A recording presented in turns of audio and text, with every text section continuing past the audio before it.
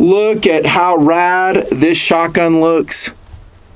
You are stupid if you don't buy it on looks alone. I'm kidding.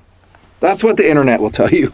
That's what a lot of reviewers will tell you in so many words.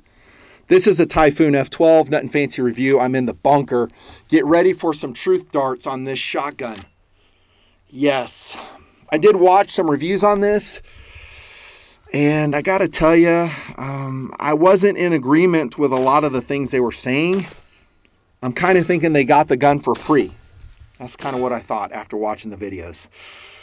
Yeah, I do have some bad things to tell you about this gun. If you own one already and you did not wait for my review, don't know what to tell you, bro. don't know what to tell you. Um, there are some good things, though, too. Good things about the F12. Here's one of them. You're looking at it. It is fabulous looking a great looking AR pattern 12 gauge semi automatic shotgun, the F12. Very cool. On looks alone, I know it is selling and it has sold. The Turkish firearms industry, especially their shotgun subdivision, they're smart. They know how to put together guns that will attract the American buyer. This is one of them. They're good at making shotguns that guys just want. The AR 15, the most popular rifle in America, if they make a shotgun that follows that pattern and looks cool in a camouflage pattern, someone's going to notice it on the shotgun, uh, shotgun, the store shelf, and they'll buy it. Cold turkey. Guys will do that. I see it all the time at the gun stores when I'm there lurking. Yeah, I do lurk. I'll just hang out there and just see what guys are saying, what the gun clerks are saying. I have my face mask on so I can conceal my identity. Uh, not for the scamdemic, by the way. no. And I'm just sitting there just listening, and I'm astounded at what I hear sometimes. Guys will buy guns on looks alone, or maybe on one of those reviews they saw on the Typhoon F12. It comes in several different colors. I've seen some other camouflage patterns that are equally cool. An urban, kind of weathered gray Cerakote, and these are all Cerakoted finishes uh, tactical black, and there are some other variations. So this is the longer variation. I believe there's a on this one a 18.5 inch barrel. Yeah, and I think they make them with shorter barrels and shorter handguards, which we'll talk about. But that's a good thing. It looks great, and on looks alone, it will will and has sold onto POU. We go in what hopefully will be a shorter format shotgun review here in the bunker. What would you get this thing for? The first thing I've kind of touched on already, and that is second cool. Guys just like it. It turns them on. They see this thing and they go, oh my gosh, that is so rad. I got to have it. Looks like one of my video game guns. And no, I don't play video games. If I didn't have TNP, would I play video games? Uh, yeah, probably a little bit. World of Tanks and DCS, Digital Combat Simulator. I, would probably do those. They're more simulations than video games, I guess. I don't know. I don't have time though. I can't do TNP and do all the other things I do in life. Uh, no, I'm in the real world, not in the digital world, uh, video gaming at least. No, so second cool, it might remind them of some gun they saw. I don't know. Uh, home defense, yeah, you could. I think you could do a lot better with a pump shotgun or a semi-automatic tube fed shotgun. They're going to be slimmer, easier. You don't need that many rounds in a home defense situation in rule of law. Without rule of law, communist zombie killer. Uh, yes, but I'm going to say this here. I've said it in anytime uh, I review a magazine fed large, and they're all large, 12 gauge semi auto shotgun. These are problematic. Anytime you go to the magazine, problematic. They're hard to carry, they're hard to store, and they're hard to have on your person when you really need them. And you guys, probably like most guys, are not in shape. You might be carrying a few extra pounds already. I am now been there. Uh, so when you add a whole bunch more weight to your LBE, are you really ready to carry around that weight? Another disadvantage. In modern production shot shells, their plastic tends to be very soft and deformable. So when you load these magazines up, and I've said this ever since I've been talking about these, the magazines, they can deform, especially if you think you're going to preload them, and then you go a month later, six months later, those shot shells are not round anymore. They're kind of cylindrical, not cylindrical, but uh, oval, and they can cause jams. It can happen in any magazine fed shotgun. Is there a way to get around it? Uh, the best way I found is just load your magazines up when you're getting ready to shoot them. That's the surefire way. Uh, there are some shot shells that have bragged about how uh, strong their their casings are. Maybe look for those, but again, more money, more money, more money. And during the scamdemic, it's really hard to find pretty much anything. So good luck with that. Philosophy of use: vehicle gun, absolutely not. Hunting gun, absolutely not. Uh, all-around tactical gun, mm, highly debatable because of its disadvantages. But I think guys think that. I mean, they're like, they'll look at a gun like this go, oh, I can load it quicker. And you can, assuming you have that system in place and you know what you're doing, you're practiced. But they, they say, yeah, I can really spit out a lot of lead with this thing. Uh, with limitations, answer might be yes, but I would rather usually go with a different platform myself. Uh, just fun gun? Yeah, I'll give you that. Enough POU. On to features we go. Okay, so you get a lot with your Typhoon F12. They, they it comes with like three five round magazines, four Benelli threaded choke tubes. That's cool. It comes with like a fake suppressor, whatever that's about. Okay, are you guys going to use this? Do you guys get off on fake suppressors? Okay, and then it comes with this thing, whatever the hell that is, and then uh, comes with your specialized disassembly tool, which is a huge disadvantage. I'm going to hit this when we go to the gas piston system. But this is, uh, you know, one of the tubes screwed in. And I didn't change it. This is just what came on the gun because I, I, didn't pattern it. I don't have any paper to show you. I usually usually blow up my wooden targets when I do it, so I usually don't do that with shotguns. Uh, I like that. I mean, I like that you can screw them in, and, but that's not anything unusual. I think some guys, for whatever reason, uh, think about suppressing the F12. And I did see a carbon fiber suppressor, one of the trade shows guys are putting on the F12, and then they're, you know, whispering death with their AR pattern shotgun. Okay, cool. Now your gun's going to weigh even more, which I'll get back to, trust me. So this barrel is 4150 steel, chrome plated, which is awesome. The Turks do a great job in chrome lining their, their bores usually. Two and three quarter and three inch chambering on the barrel. This is an 18.5 inch barrel which is uh, kind of a long platform, right? Again, I think they make, I'm not positive, I think they make a shorter barrel, shorter handguards for sure I've seen. So maybe you'd see, search those out. Maybe you have one already. Uh, they do talk about with the barrel, which seems to be high quality, is that there's a an extended forcing cone, that portion following the chamber, which constricts the shot and the, uh, the cup down the barrel. And it's well, it's very gradual, and they say it's supposed to give you a 6% reduction in perceived recoil with your Typhoon F12. I didn't notice that, by the way, but that's what they're talking about. This right here is your gas system. Okay, so your piston is right here under a very slender handguard. We'll talk about that separately. And it's this gun, the F12, is supposedly able to shoot light loads and heavy loads, i.e., high brass is what I call it. Either a heavy velocity or high velocity, like 1,200 feet or more, 1,300 feet per second uh, shot shell. Uh, think buckshot. That's either a, a pheasant, turkey load, or buckshot is usually the high brass or higher power load. The whole system of how you change this gun over is ridiculous. To uh, high, uh, low load to a high load. It's asinine.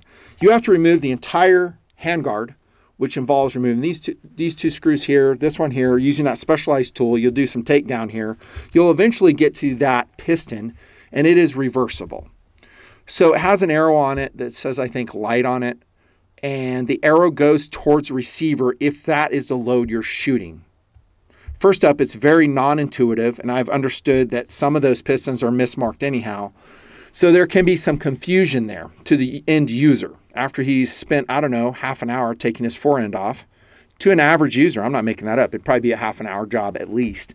Then you got to figure out, okay, it mates into this, you can't really see it very well, and maybe I roll in some of the drawings, mates into this cup, this chrome plated cup, and what you're doing with a light load is you're putting that piston so the the gap in that cup is more narrow. And then you flip it around for like a buckshot load where more gas can escape. Just look at the gap. That's a surefire way to know you have your Typhoon F12 piston oriented properly. What I'm ranting about here is that it's not an easy system to access. It's a pain in the butt. It takes a lot of time. It takes a specialized takedown tool, which is not lightweight. So if you think you're just going to carry this on your LBE, there's more weight. It's just a hassle. Now, I love the FN SLP, self-loading police shotgun. That one you actually have to take apart, although it's a lot easier than this and quicker than this, and then you put in a different piston.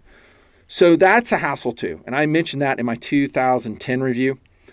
I still have my SLP. I love it. But that gun is what, 25 years old? That design, maybe older. This is a newer production. They should have improved the ergonomics on the gas adjustment system. It should be something simpler. Or if you're going to make your guy take off the handguard and disassemble, just make that process easier. There you go. I find it not intuitive all, at all and hard to do. The handguard itself is pretty excellent. It's uh, low profile. This one is long and adds a lot of weight to this very heavy gun. And I'll say it here empty with a magazine, nine pounds, eight ounces, y'all, on the Typhoon F12. Did your reviews tell you about how damn heavy it is? Empty. You put a 10 round magazine on this and you put an optic on it, you're looking at mm, probably approaching and loaded 11 pound gun, 11 pound shotgun. Yeah, dude. Think about that. Let that sink in. Yeah, that's a lot. A lot of the weight is coming from this handguard which I think is 6000 series aluminum. They're saying in their specifications it's T7. It might be, but it doesn't matter. It's uh, there's just a lot of metal there. And in this version, the 18 and a half inch barrel version, it kind of needs to be longer because the piston's right here. Right here I'm holding. Thereabouts. M-LOK on the bottom might have some M-LOK capability uh, on. No, those aren't M-LOK capable, and you you couldn't do it anyhow because the clearances of that gas piston in the handguard in the Typhoon are very, very tight. Here's more metal on the top. We have a raised extended Picatinny rail, which is okay, and there is some ventilating going on there. And they are raising it for more ergonomic sighting, I guess. But overall, it's just a very heavy gun, very heavy gun. Uh, 70 75 upper and lower. I like that. It's good. Really nice trigger guard here. Wouldn't have to modify it. You couldn't anyhow because it's milled in or it's forged in the way it is. And the controls on here are actually pretty good. I, I, like the controls 90 degree throw lever. It's well marked, it's ambidextrous on the safety. Great magazine button extended. Look how big that is. That's like an aftermarket edition you put on your AR 15. You have a reciprocating charging handle, and the charging handle needs no addition. It's awesome.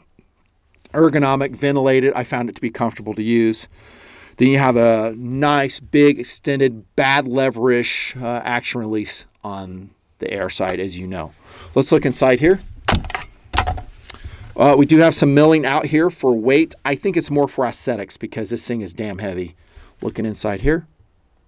When I took it apart, the overall looks inside are high quality. I didn't look at the Typhoon and go, oh, that's crap. That's crap. And oh, by the way, you see that portion right here? They have what's called, make sure I say this right, a spring ejector system on their bolt. So that's supposed to give you higher reliability in your Typhoon F12. We'll talk about how it's shot. Sights. I would say, and these are included, they're pretty excellent. They're very embussy from Magpul. Non-locking, but they're pretty excellent. I love them. I shot with them. I would be really reticent to add an optic to this thing. Sorry if I'm yelling in the mic. Yeah, this thing is, uh, these are great sights. They locked on, they didn't come loose, or the sights themselves are lightweight. Yeah, I didn't try to put a different front post in there. It's probably AR-15 compatible. I love the sights on it though. Uh, trigger, flat bladed, skeletonized. Some of you guys will like it. I don't like how it pulled at nine pounds. It seems lighter. I was a little bit surprised how heavy that pulled, but ugh. flat blade too. I could do without flat blades forever, says me.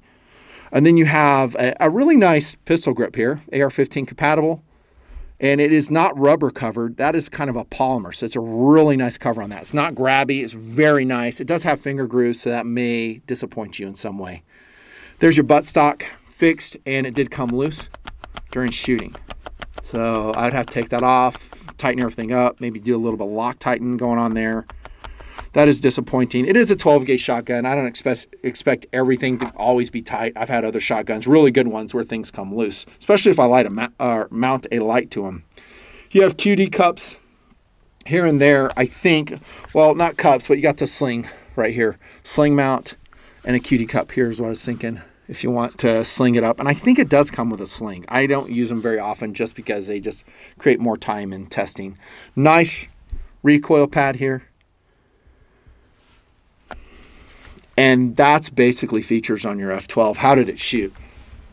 Well, I took this sucker out on multiple outings, and I really wanted the Typhoon F12 to do well. I did. Um, I just could not get it to run, guys. I mean, I would shoot a few rounds and it would, it would jam, and it didn't really matter what type of round I was shooting. So when I had the piston swapped to low recoil, I ran low recoil, like promotional ammo as I call it, low brass, low power ammo. I didn't like them. It was jamming a lot with those, and uh, so I really didn't know what to think then. I was like, well, let me get try it again. I flipped the piston around to heavy loads and ran buckshot, and it still didn't do good. It still had problems. Now again, I have this thing in the project. You guys know uh, it's called the curse of the desert. So I, I'll get a gun that runs great for everybody else, and then I take it out there, and I don't know what the heck's going on. I just have problems with it, and this is one of those guns. I am a little bit hesitant to condemn the F12 because there are a lot of great reports about how reliable it has been for people, but I have to tell you how this one shot for me, and it did not shoot well. It had all types of problems. So much so that I had to discontinue testing. I was just sick of it. And I don't know how much, uh, and I lost a hard drive, so I lost some shooting footage of that. So you may not have that much to show you. But I just wasn't digging it. Not only that, I, I think it's just too damn heavy. I mean, it is basically over 10 pounds when I load it. I found it uncomfortable to hold and shoot. Yes, I know more weight makes a 12 gauge semi auto shoot more comfortably in theory, right? I still didn't dig it. There's nothing I liked about this gun other than AR pattern controls. I thought that was fine. If you dig in the manual, it says, hey, by the way, you need to use high power loads, at least 50 rounds to break this shotgun in. Here's Nutnfancy to all shotgun manufacturers. Don't make your users break your shotguns in. If that's something you're putting in your manual, you need to do it. You don't want to force your users to go spend $75 on buckshot and their time to make their damn gun reliable. You do it. You shouldn't have to break in any shotgun. So that's kind of new, and I'm going to say this from here on out. I don't know if I said that before. I don't care if it's American shotgun, Turkish shotgun, Chinese shotgun, whatever. I'll say it. Don't make your guy break in the shotgun. It's a bunch of BS. So yeah, it was unreliable. I I don't know what else to tell you. I mean, for a 38 inch you know, 10 and a half pound gun, unreliable, count me out. Uh, I just really wasn't impressed with anything about it uh, other than the AR controls. And don't make me break it in. That's a bunch of BS. Um, would I buy one? I think you know the answer to that. The answer is absolutely not. I would not buy a Typhoon F12. Uh, I was kind of setting you up in the beginning, like how cool it looks, and it does look cool. But don't ever, ever, ever go by looks alone. Whether you're dating, getting married, or buying a dang gun, get to know the gun and from a reliable source. By the way, I'm that reliable source. Yeah, you might wait for my review before you go buy these. Now, if you have an F12 and you go, hey, I've ran everything through it and it's 100%, I think I represented that already. I'm not going to call you a liar by any means. You just got a better gun and maybe the rounds I used, the shells I used, just whatever reason, they didn't work with the F12. But that gets to another problem with the whole gun, is that if it requires special ammunition, it requires a special way to adjust for that ammunition, which is a complete fail to me. It's a non-starter the way you flip that gas piston over in the Typhoon F12. Count me out. Yeah, well, I tried some of these Fiocchi dove loads, ran it with this stuff, and like three other rounds. It just, you know, I put how many rounds I put through this? Honestly, it was hard because it started jamming so many many times. I bet you I only put like 300 rounds total through it. So not that much, but if it was reliable, it would have been more. But if it's not reliable, no, thank you. No, I wouldn't buy it. It's it's a fail. Too heavy, too expensive too. I think these are run around a thousand bucks, but I, it's going to attract guys who are don't like the plasticky Turkish AR pattern semi-auto shotguns. I'm going to show you one here in just a second. It attracts those guys. They go, yeah, man, it feels good. It feels quality. And it does present well. Like if you look at it and you look at the Cerakoting on this, it looks legit, dudes.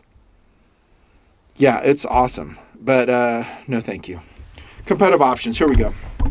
Now I reviewed this one, and this one, it might be a little bit airsofty for you guys.